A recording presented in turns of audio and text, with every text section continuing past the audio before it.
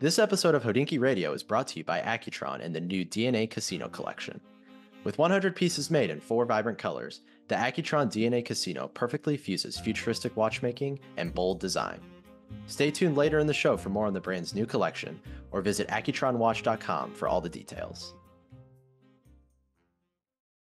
Ladies and gentlemen, welcome back to another episode of Hodinkee Radio. I'm excited to be in the New York office today with two giants of the watch industry, really, sitting in One- one and a half. We'll say One one, and and a a He's the one. I'm the half. Yeah. Um, sitting on the couch here to my right, we've got the CEO of Breitling and Universal Genève, I suppose, as well, Georges Kern.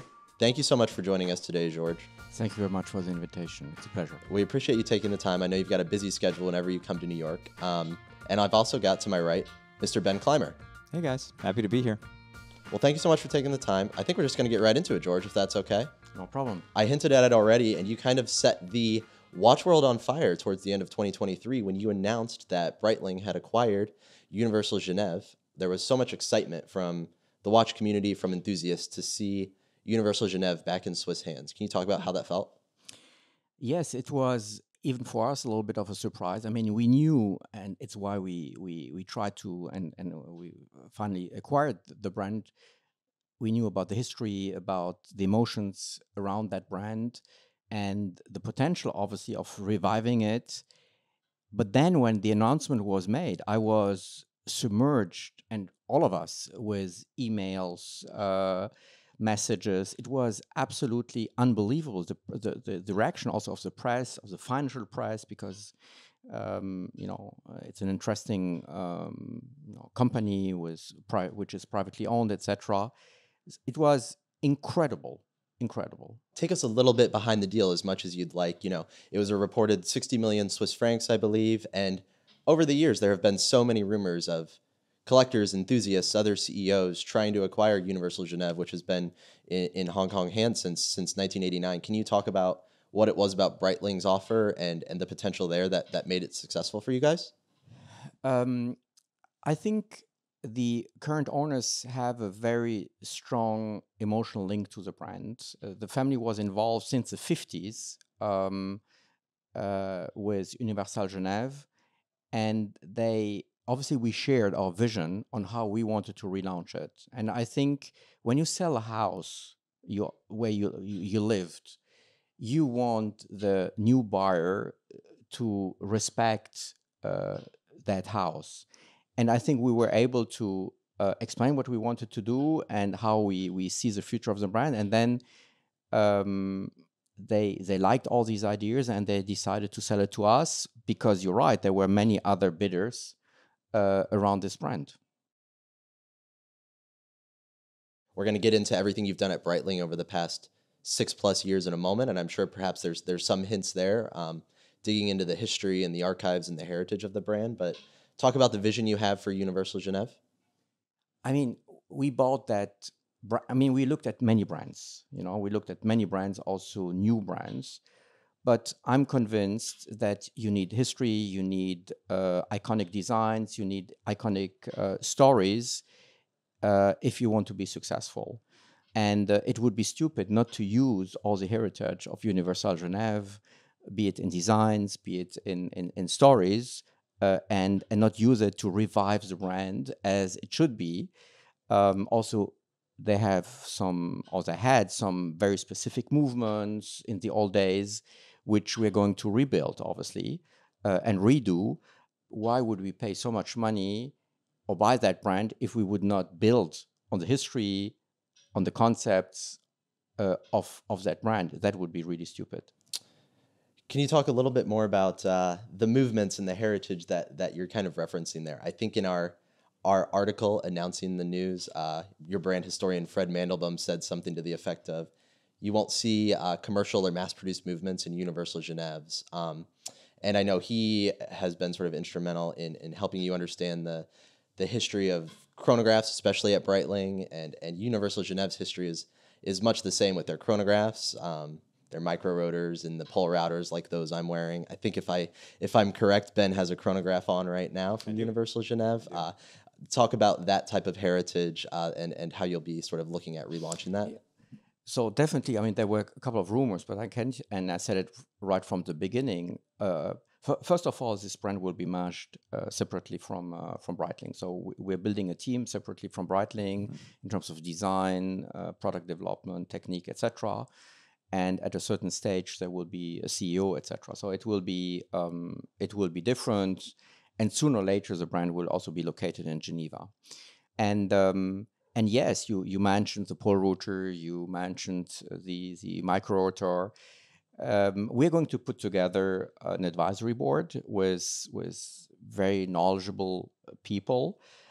I think uh, beyond the fact to ask yourself what should I do, the question is what are the mistakes I should avoid in relaunching that brand, and there will be many discussions in terms of pricing, in terms of uh, sizes, uh, in terms of design, etc., etc. And um, we had an advisory board for, for with Breitling, and we've put together a new advisory board for Universal Genève with really great people, um, and um, and and we'll discuss about all that. We have a thesis, what we want to do, obviously, and we're going to test these theses uh, very soon with with these people in different areas in terms of design, collection, because also let's not forget um, the collection or what Universal uh, developed is very wide. But what are the essentials? What you obviously pole rotor, the Compax, the Tri-Compax, Nina Rindt. I mean, all this is obvious. But then there are less obvious uh, products we need to discuss. I guess a, qu- a, question I would have mostly as a, as a collector of Universal, and Universal was, was my first love. I started buying it because I couldn't afford Patek when I first started, and it got much of the same uh, feel. Is is it really the? I mean, I'm, I'm actually looking at a uni- Universal ad on the wall, which we did not place there for your benefit. It's been there for ten years. Um, that's a Tri-Compax, right? This is to me the iconic Universal design. It's something that in, in many ways feels almost dated and out of step with today, maybe. Uh, by if you're looking at what sells the best, which is steel sports watches, would a product like that have uh, the same cachet today as it did in the 1940s? Obviously, Patek, Lange, certain brands can do very high-end, complicated formal watches. But uh, again, I don't know the price point of what we're thinking about here. But would a product like like that you think resonate the same way today as it would in the 40s or 50s? No, absolutely. I um, otherwise we we wouldn't have done it. Um, we obviously in relaunching it we want to do things differently, especially in that price point, than the brands which are positioned there. But these products were beautiful. Absolutely. I don't know yeah. anybody who has seen the products of that time who wouldn't agree that these are amazing products. Also in advertising, uh, Le Couturier de la Montre. I mean, there's so many things, but of course you have to modernize it. It has to be contemporary.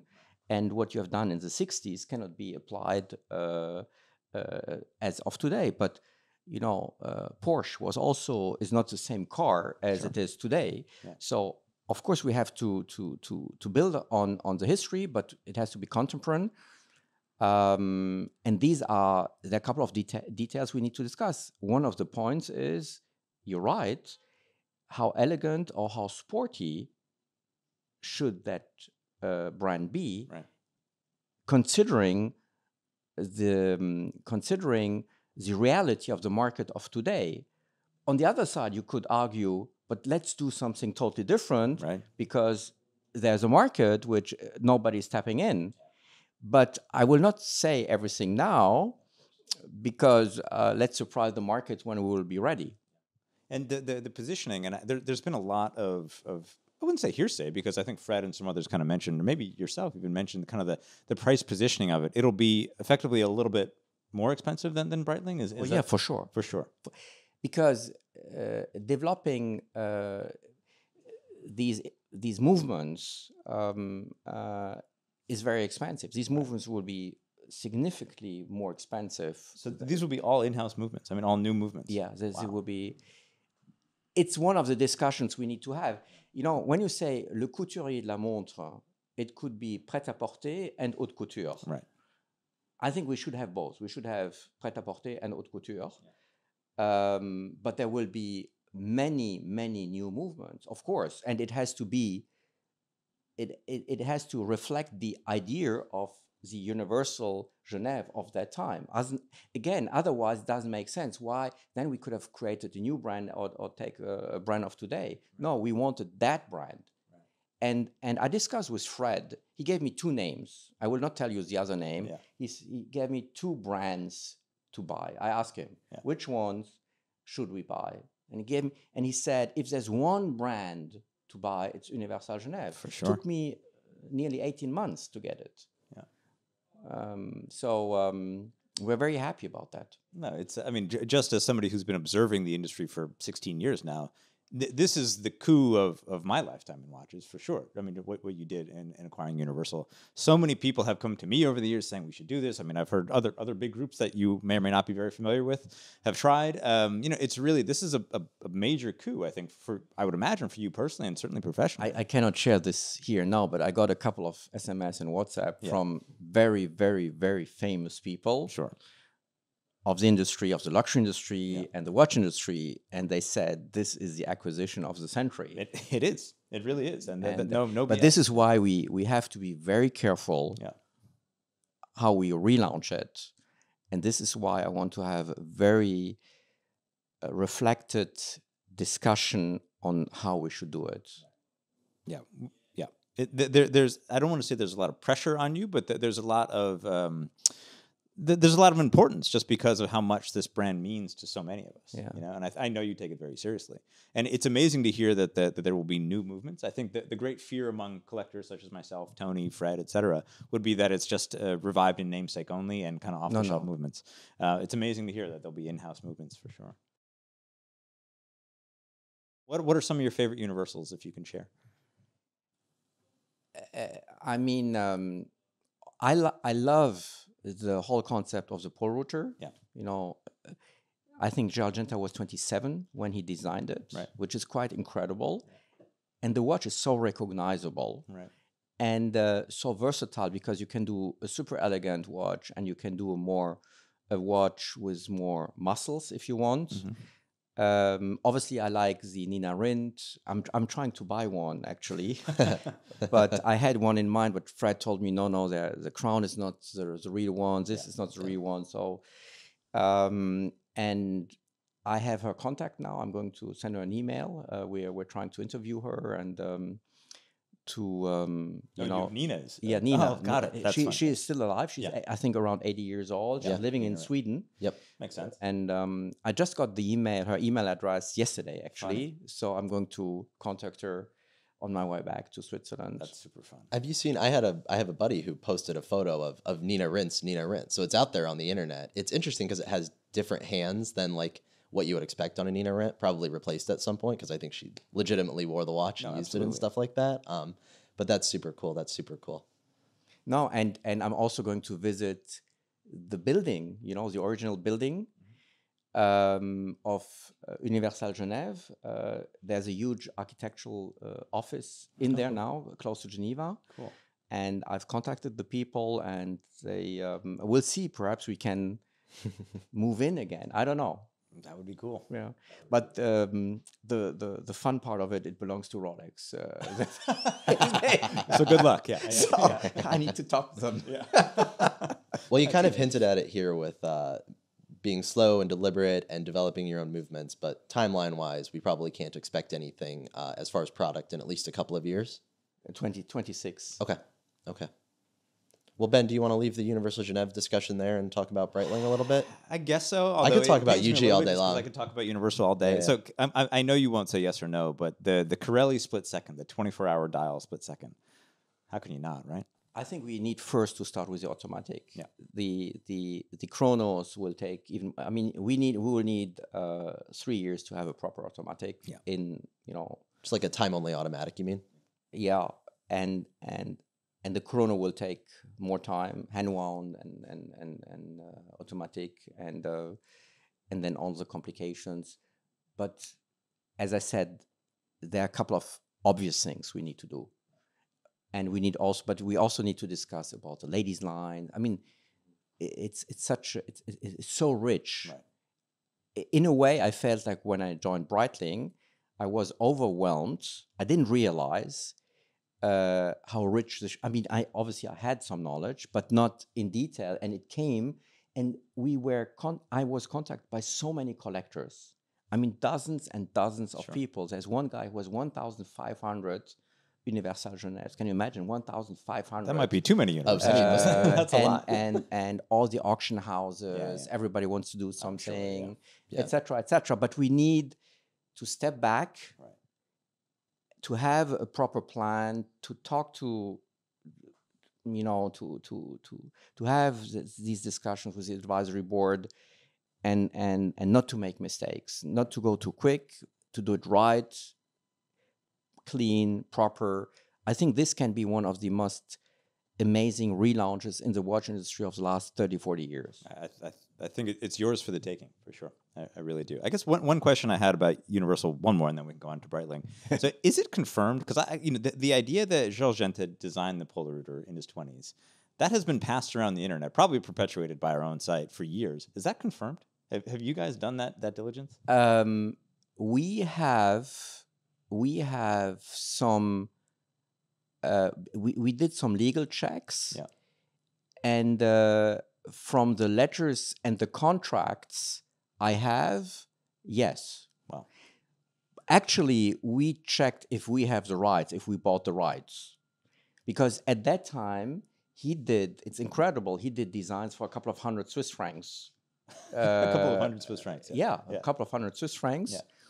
And we have uh, different correspondence which actually underlines that he designed that watch. Yes. Wow, that's that's pretty neat for sure. With the acquisition, did you get all kinds of different archival documents and things like that that are going to help tell tell the story of UG in a way that we've not expected? Yes, because there's an incredible community, Yeah. and they they they're all extremely keen to participate in the process and to um, submit and and and share uh, material. Uh, it was the same thing when I joined uh, at the, you know in the old days IWC etc. or or Breitling. Suddenly all this pops up, right? Yeah. Woof. and people uh, because people are keen and as you said are extremely emotionally pa- attached to this brand. Yeah, no question. So uh, yeah. We're excited that Hodinkee Radio is back, and our return is thanks in part to this week's sponsor, Accutron, and its new DNA Casino collection. Driven by the world's first electrostatic energy movement, the new Accutron DNA Casino collection fuses vibrant colors with futuristic design. The four bold new colors, each limited to 100 pieces, are inspired by the bright lights of Las Vegas. The DNA is an update of Accutron's original icon, the Space View, the watch known for its revolutionary tuning fork movement. The DNA updates the Accutron Space View for the modern era with a 45mm stainless steel case and integrated rubber strap. Since introducing the world's first fully electronic watch in 1960, Accutron has continued to push the boundaries of timekeeping.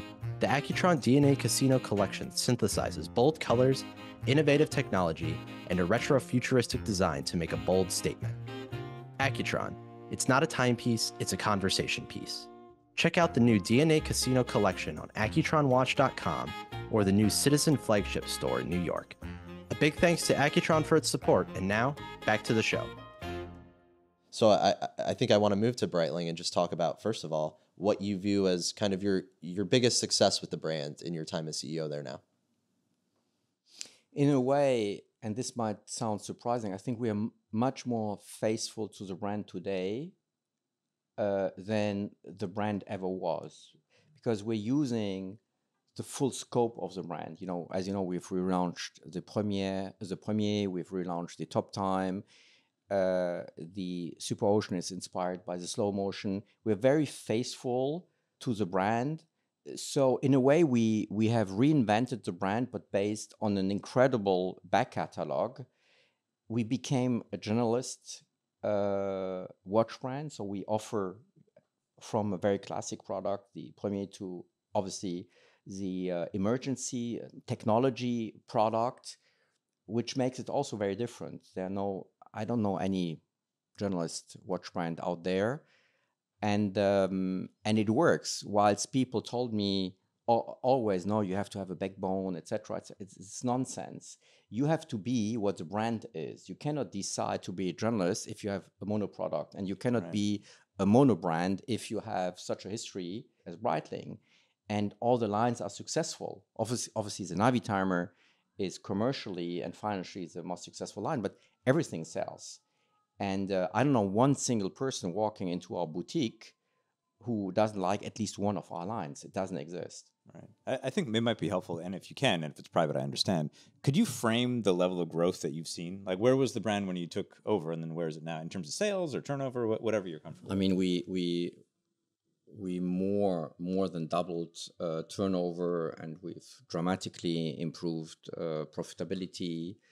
Obviously, you know the valuation of the company has been um, increasing. In- I mean, CVC bought, bought the company at that time. I mean, it was in all the newspapers for for 800 million. We now Partners Group uh, entered at 4.2 uh, uh, 5 billion. So the valuation is is incredible uh, because the profitability is there, the cash flow is there, growth is there. Obviously now, for I mean, in the whole world, you have headwinds in in terms of uh, of economic environment, inflation, uh, exchange rates, etc., etc. But the the question is, in in uh, when you have headwinds, you gain market share, which we do. Uh, we are in, nearly in every country in in the top uh, three, top four, top five brands.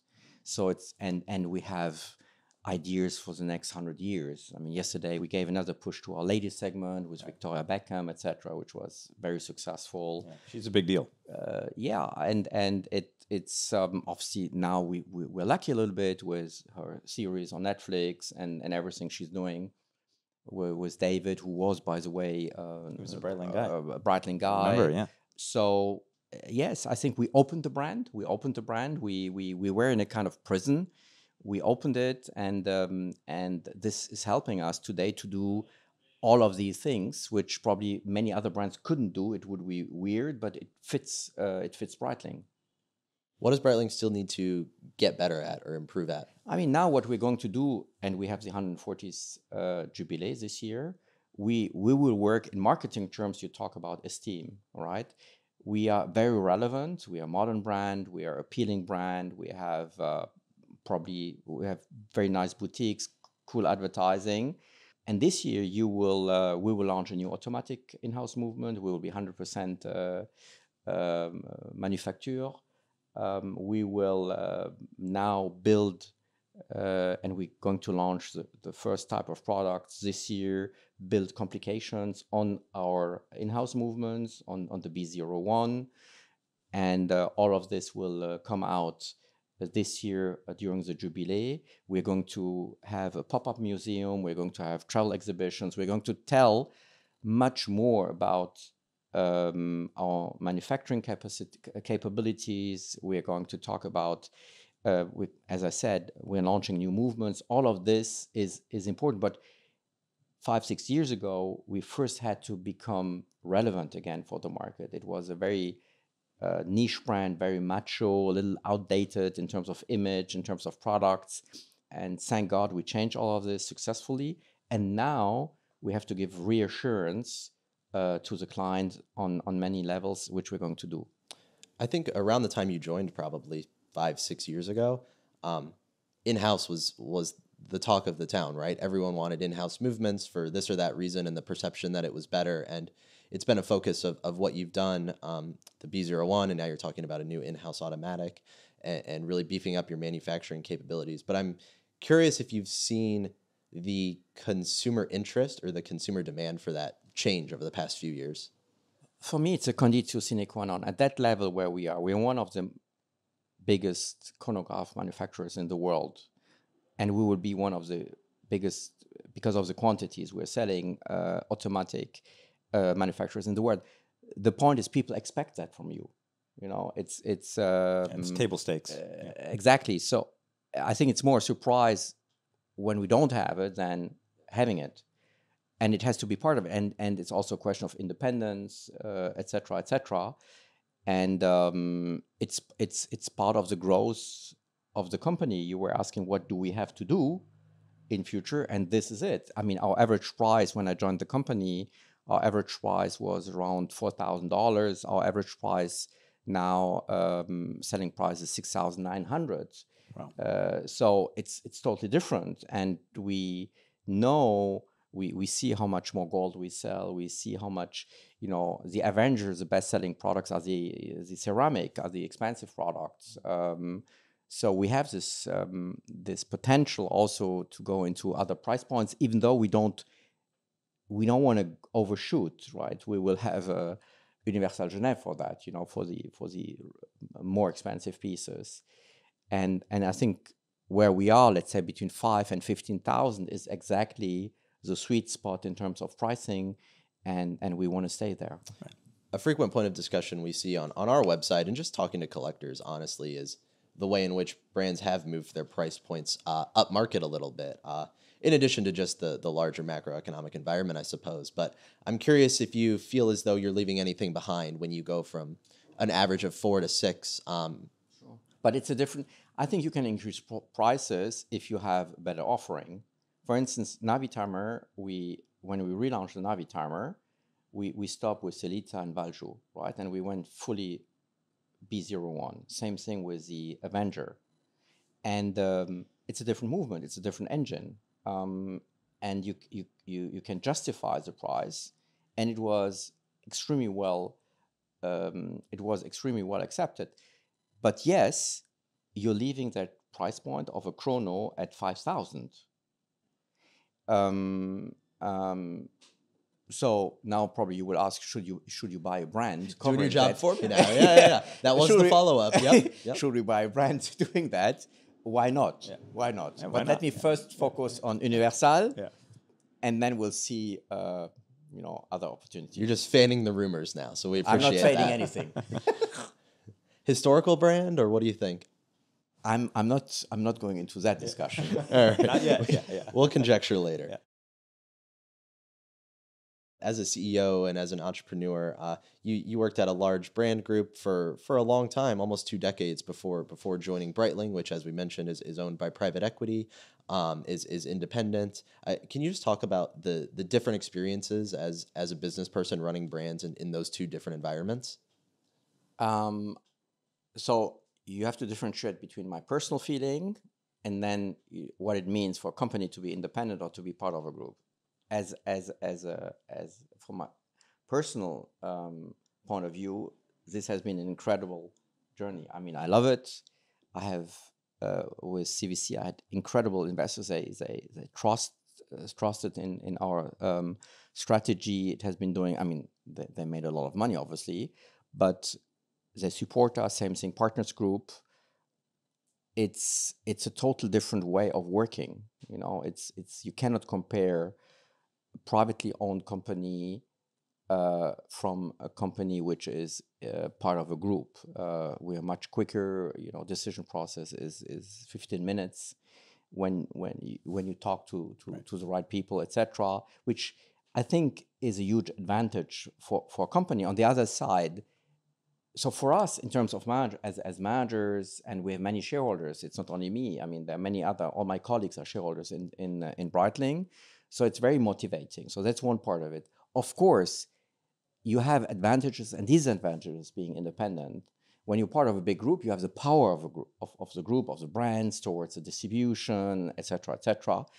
Um, but perhaps you're less flexible and and and it's uh, the decision decision process is longer. What is not the case with us. Uh, so in terms of business model, I think both have advantages. And these advantages, for me as a person or for my team, it's much more fun to work for a private company. What's the biggest disadvantage to being independent, privately owned? As I said, you're single, at least we were a single uh, brand, and you have less power towards distribution than when you are part of a group, you know, where you have, where you can talk about different brands with, with, with a partner or with a real estate company, etc., etc. But I think the brand, after a while, becomes so successful that this fades away. Yeah. And now with Universal, I mean, I, there's not one single retailer who hasn't uh, reached out, yeah. to us. I believe uh, to have the brand, right? So this fades out after a while, and and I mean, there are many brands in the top five. Uh, most of them are independent companies, right. but you need to to be successful. If you're weak as an inter- independent brand, it's getting very tough. Yeah. A question we like to ask is removing Rolex because Rolex we all know is doing quite well. What is a brand that you really admire, and what do you like about what they're doing? No, there are many brands I admire. Yeah. Um, for for totally different reasons. Yeah. But I like Cartier. I mean, I think they're doing an incredible job. It's amazing, isn't it? Even with men, all of a sudden. It's it's. I like Cyrille. I know him since many years. Sure. He's a great guy. There are many brands, you know, from my previous group which which I like, um, and um, but I also admire and I like as a person Richard Mille. You know, he's a very fun guy. I Sure, met him yeah. several times. Yeah. And um, no, there are many, but for different reasons. Um, and uh, I've seen so many brands, and I, I was, I had the opportunity to interact with so many brands in my life. Uh, and I wish them all. I wish them all luck and success. I think it's important for for for Switzerland. yeah. No. It, Can I ask you? There's been such a push towards Cartier, but also just elegance and dress watches more broadly in the past few years has been such an interest for the the collector and enthusiast community. Um, it's it's not sort of the core of what Bright, Breitling is known for right now. You're known for your sports watches and your chronographs. When when is it that you see a trend towards something like that or an aesthetic like that, and think about how it might inform your your product? I think as a brand, you you need to keep your identity. You know, we, we are not Breitling is not an ele- we, we are not positioned as an elegant watch. We want to be the cool and relaxed alternative to the more conservative brands out there. We are in surfing, we are in triathlon. I mean, we are in rugby. We, we are we, we are not in flat watches. You know, in, in, in this is not our it's not our identity, and we have to stick to our identity. But then within that identity, you can you can have uh, a Navitimer or Superocean or Superocean Heritage or an Avenger, as long as there is a coherent style. And that was a difficulty for Breitling or for, for us when we took over five, six years ago.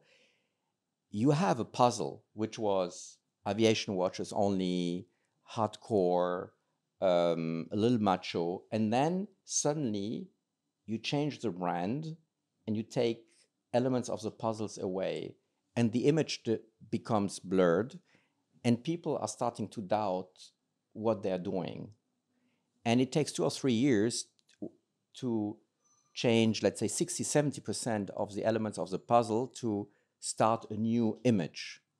And i think we've now we're at 99% but we have that image we have that identity and we need to keep it.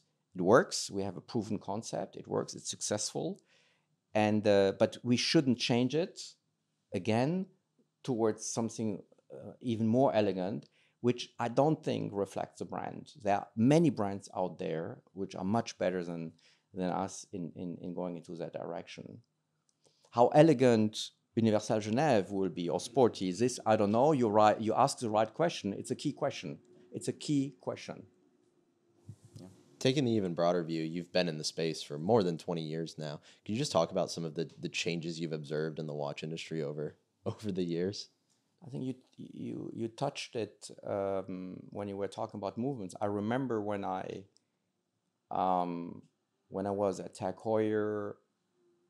Tag Heuer at that time when I joined uh, Tag Heuer, it was in uh, probably 91, 92.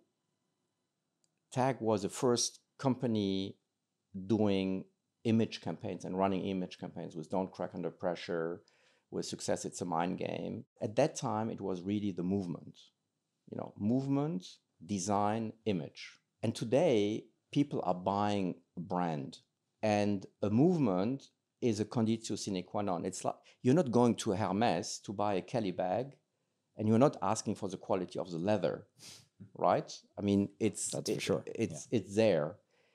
In a way, at our level, people expect super quality, super service, in-house movements, etc. But it totally changed. The, uh, and also when I worked with Günther Blümlein at that time, it was very much who, who as you know, built the IWC Schaffhausen and, and Lange Söhne. It was very much about the movement, Absolutely. etc. But I think the biggest change is that the brand became so important. The image of the brand became so important, and other elements uh, are still important, but are considered as being given. and which was v- not the case 20 years ago. Right. That makes sense. Listen, I wanted to I wanted to lighten things up a little bit before we let you go. Uh, if I read your bio correctly, you've got some film production credits. Um, I know cinema is a bit of a passion of yours. Is this is this correct? Did I read this right? No, no, it's correct. I produced a movie in France, Yeah. um, which was quite success- successful with Charlotte Gainsbourg, who is the daughter of Serge Gainsbourg, who was an ambassador of, uh, of Breitling, by the way, like Miles Davis and others. Yeah. And it's uh, in it's based on a on a famous novel of from John Fante called My Dog Stupid. Now we're doing the series, but in English in England, and I have other projects. So you know, people have hobbies, and in the industry, you have people doing cheese. You have Yes, we do. uh, Of course. You have Of people course. doing wine. I'm I'm I'm producing movies, and um, it's it's uh, I love it. Yeah, I'm going to Ben's Vineyard right after this. It'll be great. You can come along if joke, you want. by the way. No vineyard. Yeah. No vineyard here for sure. yeah. Um, you know, with that, I wanted to ask for a, a film or a TV recommendation. Something maybe you watch it on the plane on the way to New York, or something you've got lined up for your flight tonight. Um, uh, I mean, the best series I just finished the last season for me, and and it won all the prizes. Is is uh, Succession? Yeah, of I. I, I loved it, and uh, I did. I I saw uh, Napoleon. I didn't like it at all, to be honest, um, because I I'm, I'm I'm half French, so I know the story, and I think it's it's it's not um, accurate. Uh, it was very unfair. But no, I like I like uh, on all series. I I loved Ozark. I mean, there are a couple of series which are very cool, um, and um, it's it's it's a source of inspiration. By the way, you know, it's it's interesting to look. I, I like to look what is happening in the in the in the movie industry, what is happening in the car industry in terms of designs, in terms of colors. You need to get inspiration. Fashion, I love fashion. To come back on on on Victoria Beckham, what she's doing and how she changed her style and um, became so successful. It's super interesting to talk to people who are a little bit outside of uh, your core industry, but still close because it's all luxury and it's very transversal. You cannot, you shouldn't look at the watch industry as a silo. Somebody who's interested in watches in, is interested in cars, is interested hopefully in art or in fashion, etc. And you have a much more, or you need, in my opinion, to have a much more transversal understanding on what is going on in our society, what the trends are. Also after COVID, you know, I wouldn't do events today, for instance, at Breitling as I did five or ten years ago, and you probably attended a couple of them. But it wouldn't be appropriate uh, appropriate in, in in our time. So you have to understand what is going on in the society, uh, and and what trends there are, colors, materials, what is going on, because it's all um, yeah, it's it's it's it's a global thinking you need to have. I think. I, I wholeheartedly agree, and I think it's also part of the fun part of when you're learning about the history of a brand like UG or Breitling. You're learning about the context in which these watches were made in the 40s and the 50s and the 60s, and it, it it just makes it so much richer when you discover brands in that way. It's a very important point, by the way, when we'll talk about Universal, not to turn this into a vintage brand. I think that's that would be a terrible mistake. Terrible mistake. I agree. Well, George, thank you so much for taking your time or taking time out of your day to, to come by the Hodinkee office. Ben, thank you as well. Thank you, guys. Um, I think we enjoyed the conversation. Thank you for shedding some light on your plans at Universal Genève and, and everything you've been up to at Breitling. Um, thank you again. Thank you very much.